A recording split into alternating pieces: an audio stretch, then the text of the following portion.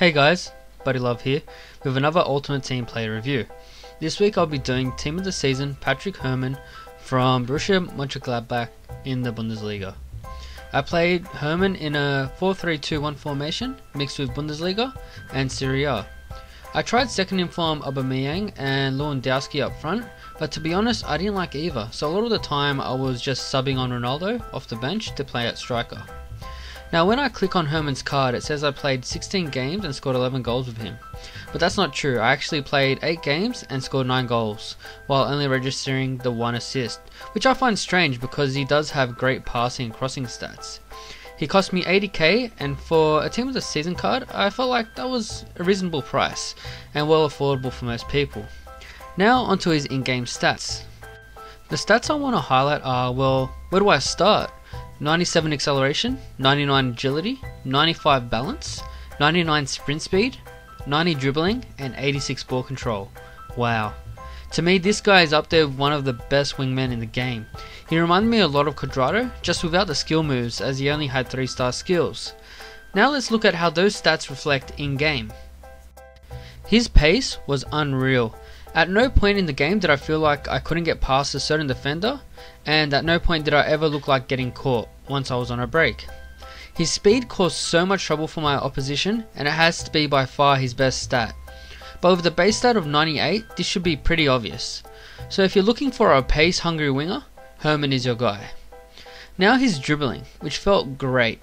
It was a massive upgrade from his previous cards, and I think um, is the reason why this card feels so much better than his previous cards. Yes, the pace upgrade was great, but the fact that he is now agile enough to weave in and around players makes him deadly. He can now speed dribble a lot better too, and the fact that he has 97 acceleration and 99 sprint speed means that once he he speed dribbles past one of the opposition defenders, he's basically through on goal. Onto his shooting which I felt was pretty damn good. I could really feel the 86 shot power and 83 long shots, as I could blast awesome shots across goal, which I noticed isn't too common in this FIFA. I also think that 9 goals in 8 games is a pretty good return. So a pretty solid shooter, if you wanted to play in, in the right forward position like I did. So on to his passing. This was an attribute I couldn't really fault him on, but for some reason I only managed the one assist with him, which I felt was weird.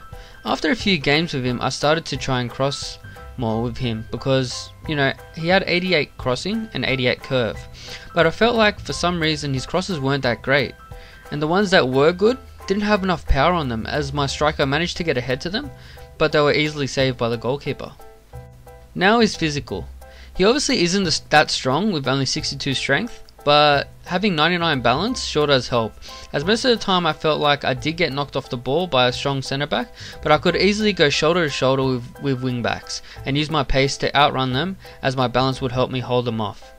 Another physical stat that was surprising was 95 jumping, but in the 8 games I played with him, I didn't really get into much aerial duels with him so I couldn't really test it out. Now onto his pros and cons. His pros were his pace, his dribbling, which was a massive upgrade, his shot power, and his finishing.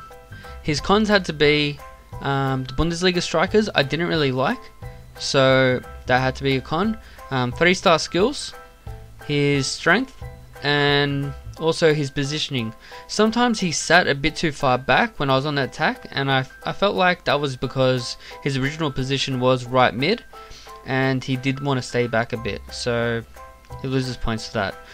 So my overall love rating for Herrmann is 7.5 out of 10, who for me felt like the German Cuadrado, just a little bit more expensive.